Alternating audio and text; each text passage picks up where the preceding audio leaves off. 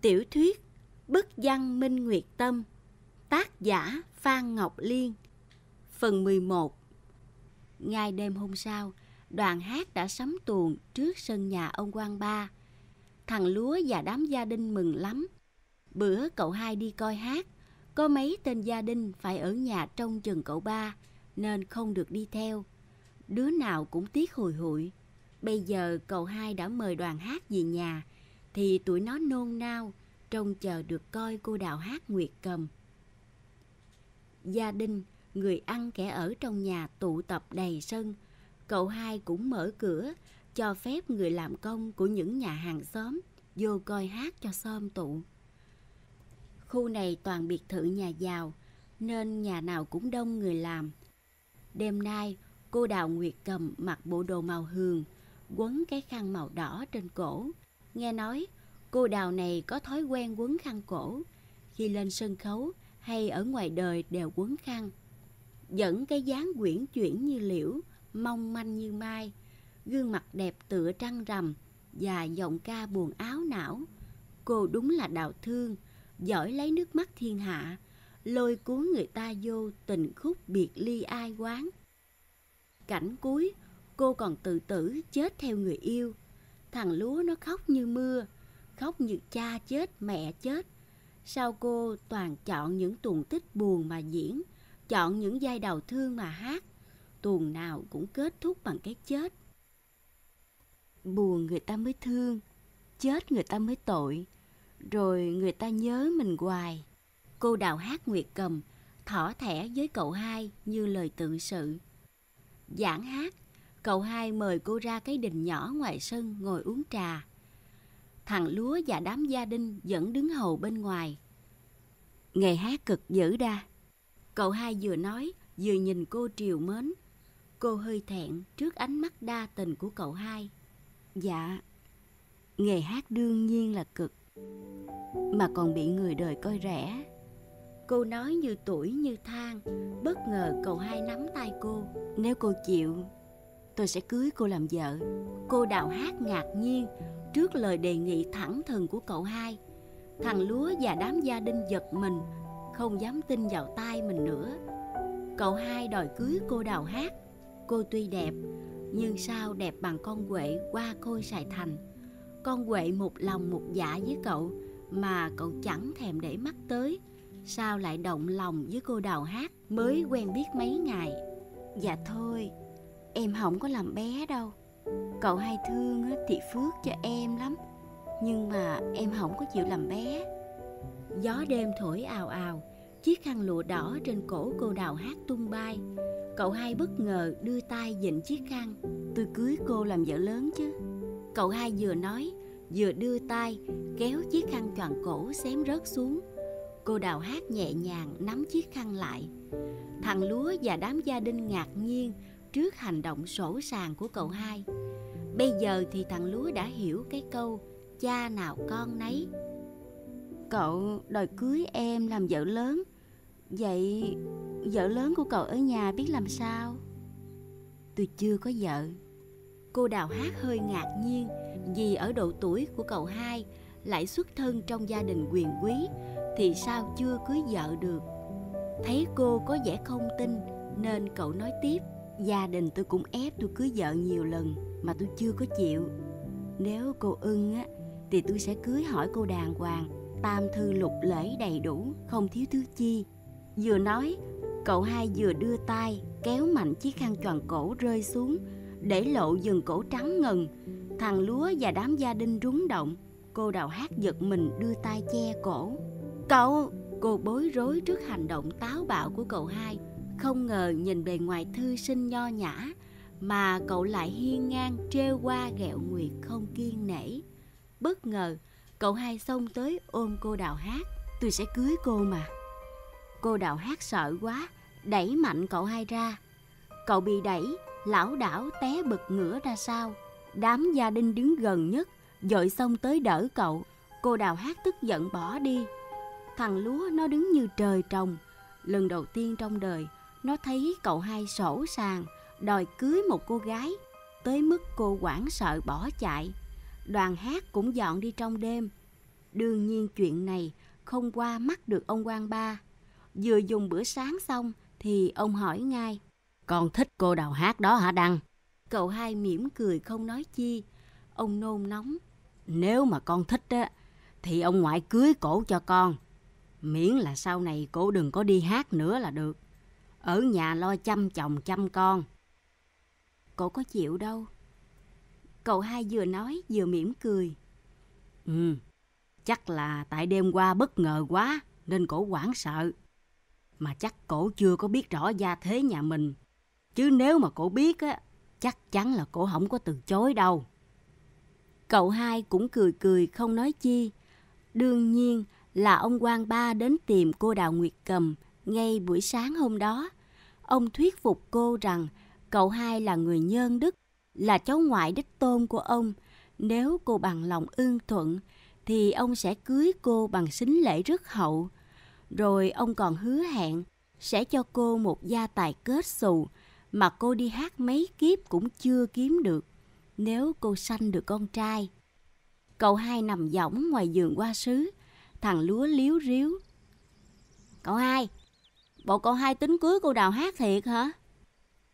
Cậu thiêu thiêu ngủ, nghe thằng lúa hỏi thì mỉm cười. Ừ. Tuy cậu hai đã ừ, nhưng thằng lúa vẫn không tin đây là sự thật. Cậu hai, ông đang đi gặp cô đào hát để cưới cổ cho cậu á. Cổ không có chịu đâu. Cậu hai nói rồi nhắm mắt như muốn ngủ. Thằng lúa ngạc nhiên. Ủa, sao lại không chịu? Chắc cổ phải chịu chứ, tại cậu hai... Um... Thằng lúa tính nói tại cậu hai giàu có, quyền quý, mà lại chịu cưới cô làm vợ lớn, nên chắc cô chịu. Nhưng nó không dám nói, nên bỏ lửng nửa câu. Cậu từ từ đi vào giấc ngủ. Đúng như cậu hai nói, cô đào hát không chịu.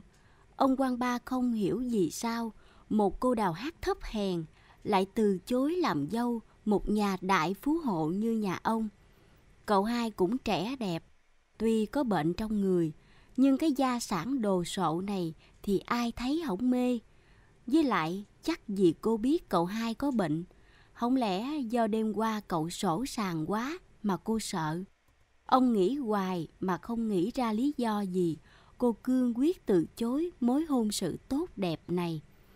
Cậu hai chẳng ngạc nhiên, cũng chẳng tỏ ra buồn khi bị từ chối. Bây giờ thì ông không hiểu nổi cậu nữa. Không biết trong đầu cậu toan tính chuyện chi, nên ông đâm lo. Không biết từ đâu mà con Huệ nó biết chuyện cậu hai muốn cưới cô đào hát Nguyệt Cầm. Nó khóc như mưa, chạy tới chùa kiếm sư bà, nhưng sư bà không có ở chùa. Nghe mấy sư cô nói, sư bà đi thăm sư phụ mấy hôm rồi. Con Huệ muốn đi kiếm cậu hai hỏi cho ra lẽ, nhưng chạy tới trước cổng thì không dám vô. Ức quá, nó chạy về tiệm Mai khóc một trận. Đêm đó, nó tới đoàn hát Kim Long coi hát. Nó muốn coi thử cô đào hát Nguyệt cầm đẹp cỡ nào mà cậu hai muốn cưới làm vợ. Coi cô đào hát có đẹp hơn nó không? Nó được mệnh danh là mỹ nhân Sài Thành dạng người mê. Vậy mà cậu hai chẳng để mắt tới.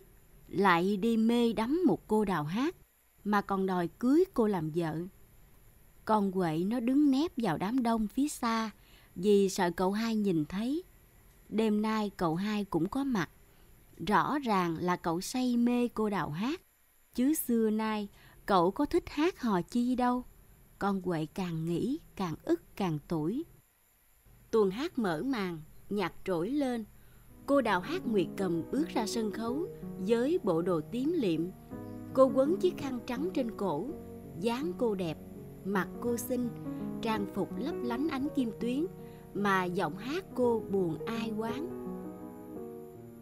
Đuốc qua sáng lấp lánh, nhạt màu hồng son, như điểm trang phấn hương, sắc hương loan phòng, giấc mộng vàng son, cung cát giờ là phù du có nhớ thương có dấn dương phút giây chia lìa cô mới hát tới đó thì bất ngờ lính ập vào xông thẳng lên sân khấu bắt cô đào hát khiến mọi người ngạc nhiên há hốc không biết là thật hay đang diễn tuồng cậu hai bước lên sân khấu gỡ chiếc khăn choàng trắng trên cổ cô đào hát. Bên trong, cô đeo một sợi dây chuyền cũ kỹ, mặt hình trăng khuyết. Đây là chứng cứ quan trọng trong vụ án của ông bá Hậu Sang. Cô bị lính bắt đi trong sự ngỡ ngàng của đám đông. Vụ án của ông bá Hậu Sang được sáng tỏ. Ông chết ở gần đoàn hát. Trước khi chết, có xô xát với hung thủ và cuối cùng bị hung thủ dùng dao đâm chết. Ông Sang là người mạnh khỏe, nghe nói thời trẻ ông còn tập võ, nên tòa án nghi ngờ hung thủ cũng là một người đàn ông khỏe mạnh. Cậu Tú sai rượu lão đảo đi về sau một trận cãi giả với ông Sang ở đoàn hát vì cô Đào Nguyệt cầm. Cậu thấy ông Sang nằm dưới đất nên tới coi thì phát hiện ông bị người ta đâm chết. Vừa lúc đó, có người của đoàn hát nhìn thấy tri hô lên. Vậy là cậu Tú bị tình nghi là hung thủ. Những người đàn ông khỏe mạnh đã từng tiếp xúc với ông Sang đều bị nghi ngờ. Cậu hai bắt đầu điều tra từ nạn nhân. Ông bá Hậu Sang không có nhiều kẻ thù. Vết nhơ lớn nhất trong đời ông là đã từng cưỡng hiếp rồi giết chết một cô đào hát tên Nguyệt Hoa cách đây 5 năm. Ông đi coi hát, say mê cô đào hát, nhưng biết chắc cô không chịu làm vợ bé cho ông vì cô đã có người yêu. Lão vợ già của ông ở nhà cũng không chấp nhận cho ông cưới thiếp. Cơn thèm khát dâng cao, ông bắt cóc cô Nguyệt qua cưỡng hiếp. Sợi tai tiếng, ông sang cho người giết chết cô rồi quăng xác xuống sông. Đoàn hát cũng tan rã, những người trong đoàn hát chết bất đắc kỳ tử. Anh kép hát Vũ Sương hát cùng cô đào hát Nguyệt qua. Khi ấy là người yêu của cô. Anh kép hát này đẹp trai, ca hay, diễn giỏi, mà đặc biệt anh có dáng dốc mong manh như thiếu nữ, nên hát được dai kép lẫn giai đào. Có đêm đoàn hát muốn thay đổi khẩu vị cho khán giả, nên cho cô đóng vai kép, anh đóng vai đào, khiến người thích thú. Vậy là động cơ giết người đã rõ, anh kép hát Vũ xương, vì muốn trả thù cho người yêu mà cải trang thành cô đào hát Nguyệt Cầm để điều tra hung thủ, giết người báo thù và đổ tội cho cậu Tú, chồng cô Cúc. Đâu ai ngờ được, cô đào hát Nguyệt Cầm xinh đẹp, mong manh như liễu, dốc ngọc mình ngà lại là đàn ông. Lần đầu tiên cậu hai coi hát thì đã có cảm giác kỳ lạ, nghi ngờ cô không phải phụ nữ. Thế là cậu ra tiền mướn đoàn hát về nhà ông ngoại hát để có dịp tiếp xúc thân cận với cô. Cậu hai cố ý đòi cưới cô để coi cô có phản ứng chi. Nếu cô không phải là nữ thì đời nào chấp nhận. Cậu còn cố tình sổ sàng, kéo cái khăn quấn cổ của cô xuống để lộ trái cổ. Rồi cậu còn sấn tới ôm cô. Lúc này thì cậu đã khẳng định cô chắc chắn là đàn ông. Cậu hai điều tra được cô Đào Nguyệt qua ngày trước. Mỗi lần hát tuồng đều đeo sợi dây chuyền có mặt hình trăng khuyết. Đó chính là vật bảo của dòng họ nhà cô truyền lại. Dòng họ cô Nguyệt qua nhiều đời theo nghề hát và truyền lại sợi dây chuyền gia bảo này như báo vật thiên liêng của tổ nghề. Anh kép hát Vũ Sương và cô Đào Nguyệt Hoa là thanh mai trúc mã từ nhỏ cùng nhau lớn lên họ có tình cảm sâu đậm, chỉ đợi ngày cưới. Không ngờ ông bá Hậu Sang đã cưỡng hiếp và giết chết cô, làm tan rã đoàn hát. Anh kép hát may mắn sống sót, nên bao năm nay anh giả làm đào hát để điều tra kẻ thù. Cậu hai tìm được một đoạn dây chuyền bị đứt nằm trong lòng bàn tay của nạn nhân.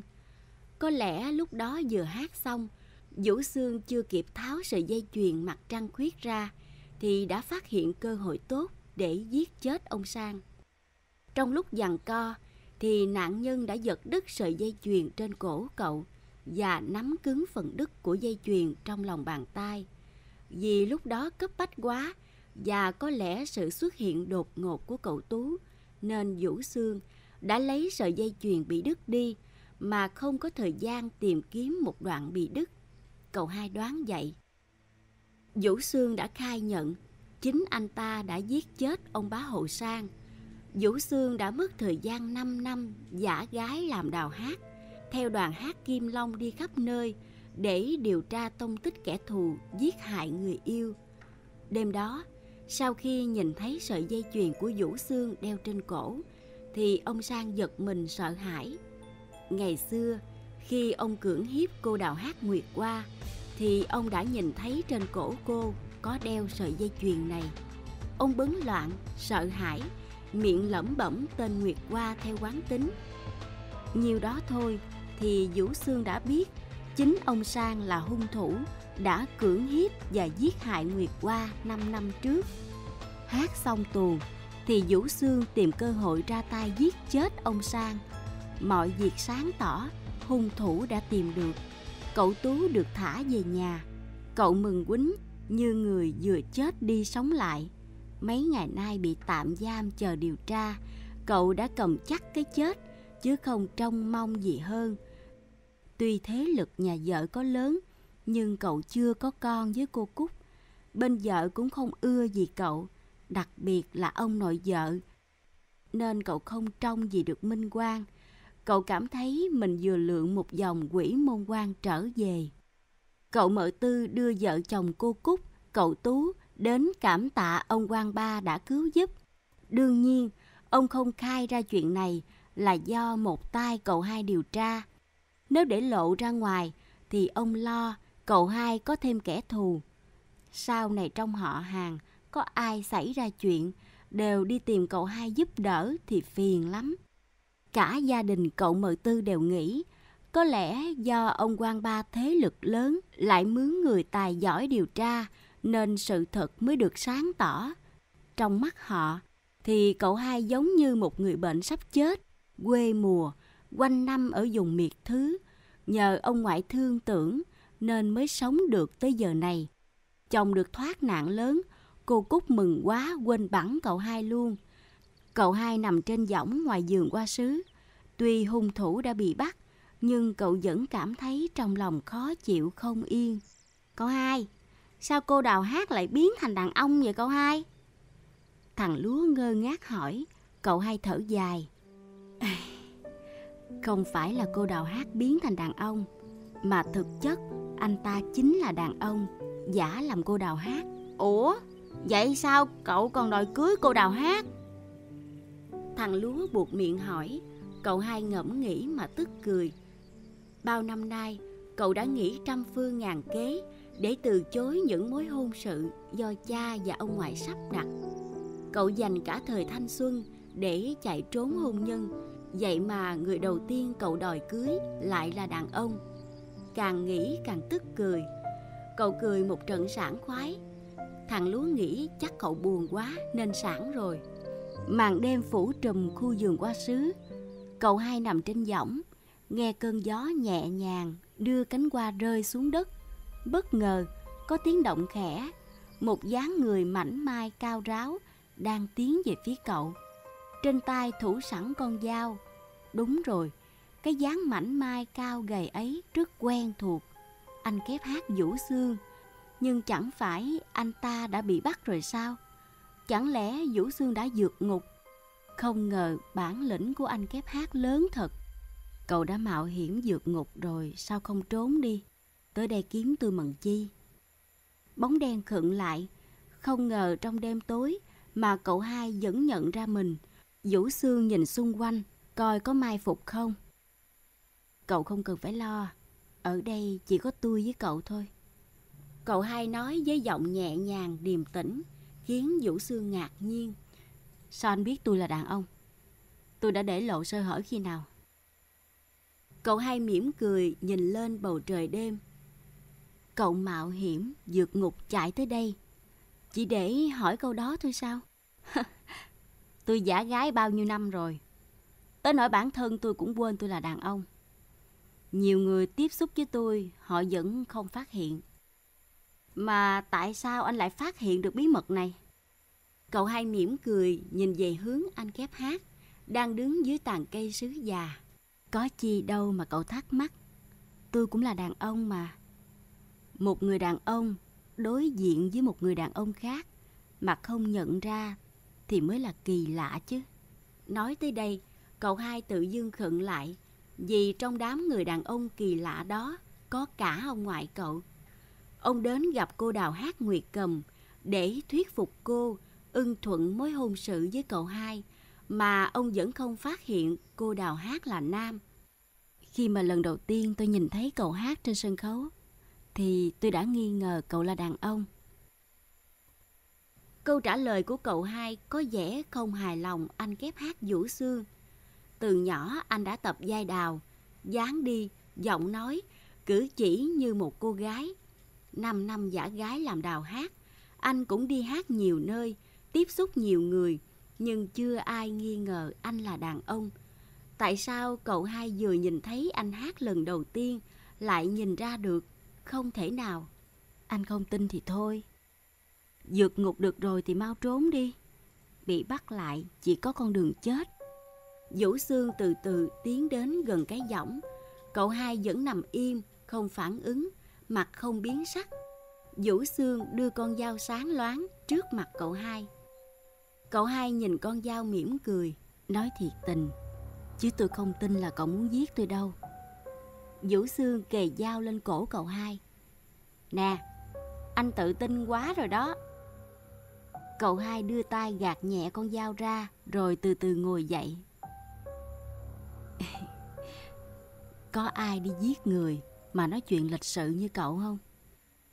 Vũ Sương vẫn cầm con dao sắc lạnh, chỉ mũi nhọn vào cậu hai. Tôi là kép hát, nói chuyện lễ nghĩa với khán giả quen rồi. Không có quen kiểu ăn nói thất lễ mà cử chỉ sổ sàng. Nhắc tới cử chỉ sổ sàng thì cậu hai nhớ tới cái đêm cậu đòi cưới cô Nguyệt Cầm mà thực chất là kép hát Vũ Sương. Cậu đang nói móc tôi sao? Bữa đó tôi hơi vô lễ. Vũ Sương từ từ đưa con dao tới trước ngực cậu hai. Mũi dao đã cắm vào ngực áo bà ba trắng. Mặt cậu hai vẫn tỉnh bơ. Anh không sợ hả? Ánh mắt của cậu không có sát khí. Cậu tới đây tìm tôi làm chi? Không lẽ chỉ để hỏi tại sao tôi phát hiện cậu là đàn ông thôi sao?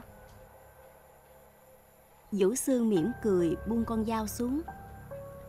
Ây, đúng là tôi không có ý định giết anh. Tôi tới đây cảm ơn anh. Cậu cảm ơn tôi. Cậu hai ngạc nhiên, không biết tên hung thủ này cảm ơn cậu chuyện chi. Không lẽ cảm ơn cậu đã dạch mặt hắn ta? À, nói thiệt là năm năm nay tôi giả gái làm đào hát. Mỗi ngày phải ăn mặc đồ nữ, cố gắng bắt chước dáng đi, hành động, giọng nói, giọng ca như là một thiếu nữ. Tôi cũng mệt dữ lắm rồi. Bây giờ thì tôi không cần phải giả gái nữa. Hơi làm đàn ông thiệt là thoải mái, sảng khoái quá đi. Đây chẳng phải là đều nhờ anh hết sao? Vũ Sương vừa nói vừa cười sảng khoái. Đương nhiên, cậu hai biết đó không phải là lý do thật. Tôi đã vô tình làm điều chi giúp cậu hay sao? Nghĩ tới đó thì bất chợt. Cậu hai nhớ đến 10 xác người chết trôi sông. Cậu cho người dớt lên, rồi đem chôn trên bãi đất trống. Tất cả đều là thanh niên trẻ tuổi và cùng một nhóm người. Nhìn trang phục Vũ Sương đang mặc thì cậu mường tượng tới những người đó Chẳng lẽ Vũ Sương có liên quan đến họ? Mười cái xác trôi sông đó là người quen của cậu sao? Tất cả đều là anh em tốt của tôi. Nói tới đây thì cậu hai đã hiểu. Vì lòng nhân từ, cậu cho người dớt mười xác chết lên bờ chôn cất mà Vũ Sương nhớ ơn cậu. Cảm ơn anh. Cảm ơn anh đã chôn cất những người anh em của tôi. Không để thân xác của họ lạnh lẽo dưới sông làm mồi cho cá. Nhắc đến những người anh em đã chết, khóe mắt Vũ Sương cay cay. Cậu hai cũng không tiện hỏi nguyên nhân vì sao những người đó lại chết. Nếu không phải tôi đã từng chôn cất những người anh em của cậu, thì đêm nay cậu định làm gì tôi? Vũ Sương đưa con dao sắc lạnh trước mặt cậu hai. Thì anh tự nghĩ đi. Tôi biết là cậu có bản lĩnh, mới thoát khỏi ngục tù, hiên ngang ra vào nhà này như chốn không người. Nhưng mà cậu suy nghĩ cho kỹ, nếu cậu bỏ qua cơ hội đêm nay, thì sau này có hối hận. Muốn kiếm cơ hội giết tôi cũng không có dễ đâu. Ơi, nói thiệt là tôi không có giết anh đâu, bởi vì... Vũ Sương cười khẩy. Là tại vì anh đòi cưới tôi mà. Anh chết rồi thì ai cưới tôi đây? Nói tới đây thì cả hai người cười sảng khoái. Cậu hai khựng lại. Nhưng mà bây giờ cậu là tội phạm truy nã. Cậu phải cẩn thận đó. Anh khỏi lo đi, có người chết thai tôi rồi. Anh cũng đừng có chết sớm quá mất vui nha. Vũ Sương nói rồi mất hút trong màn đêm, không biết đi hướng nào. Vũ Sương nói không sai. Nhiều ngày sau đó, vẫn chưa thấy báo chí đưa tin cô đào hát Nguyệt Cầm hay anh kép hát Vũ Sương dược ngục. Có lẽ không lâu nữa, người ta cũng chẳng còn nhớ đến vụ án này. Nếu cậu hai không động lòng nhân, vớt mấy xác chết dưới sông lên chôn cất, thì chắc giờ cậu cũng thành một xác chết rồi. Cuộc đời có lắm chuyện trùng hợp lạ kỳ như tiểu thuyết. Cậu hai đi thăm cậu ba. Cậu ba vẫn còn nằm trên giường hai chân bó bột. Em đỡ đau chưa? Cậu ba lườm cậu hai. Cậu hai cười khổ. Chắc em nghĩ anh cho người đánh gãy chân em, rồi lại về quê rước em lên đây chữa chân. Anh đâu có thời gian rảnh rỗi như vậy. Tuy cậu ba hổm nay ở nhà này, nhưng cậu suốt ngày ở trong phòng không ra ngoài. Không biết căn nhà lớn cỡ nào, có bao nhiêu người ở. Cậu hai cũng không cho ai đến gần cậu ba, ngoài bà Ngọc, con Lài, thằng Lúa và những tên gia đình thân cận. Em lo mà dưỡng thương cho tốt đi. Đợi khi nào mà em đi được rồi, thì anh biểu tài xế chở đi chơi. Nghe nói ở Sài Gòn nhiều chỗ chơi vui lắm. Cậu hai cho thằng Lúa, đám gia đình ở Cù Lao Dừa và con Lài hầu bà Ngọc đi chơi cả ngày. Tối còn được đi coi hát. Đương nhiên, ông quan ba không đồng ý cái kiểu dung túng người ăn kẻ ở của cậu hai. Nhưng ông không cản, vì dư biết tánh nết của cậu rồi. Nửa đêm giảng hát, cả đám mới về nhà, nhưng không có thằng Lúa. Cậu hai đang nghỉ trong phòng, nên không ai dám báo cho cậu biết. Chỉ âm thầm đi kiếm. Cậu đang ngủ thì giật mình thức giấc. Linh cảm có chuyện chẳng lành. Cậu gọi thằng Lúa, thì biết tin nó đã mất tích. Cậu hai trằn trọc cả đêm không ngủ được. Sáng sớm, cậu hai cho người đi khắp nơi tìm thằng Lúa. Ông quan ba không hiểu gì sao, chỉ một thằng ở đợi mất tích mà cậu hai lại lo lắng như vậy. Đương nhiên, ông không hiểu được tình cảm thân thiết giữa thằng Lúa và cậu hai. Tuy nó là người ở, nhưng đã theo cậu nhiều năm. Cậu coi nó như người thân trong nhà, chưa bao giờ la rầy lớn tiếng. Đã hai ngày không có tin tức của thằng Lúa, cậu hai mất ăn mất ngủ. Nếu nó đi lạc, thì cũng tìm cách về nhà. Lần trước nó mới lần đầu lên Sài Gòn, đi lạc vẫn tìm được đường về nhà. Nói chi bây giờ, không lẽ nó bị bắt cóc? Mà người ta bắt cóc nó làm chi? Suốt ngày nó đi theo cậu hai, chứ có quen biết ai ở Sài Gòn đâu. Không lẽ người ta bắt nó để đối phó với cậu? Nếu thiệt là như vậy, thì người này phải biết rõ cậu lắm. Biết cậu thương thằng Lúa như thương người nhà, nên mới ra tay với nó.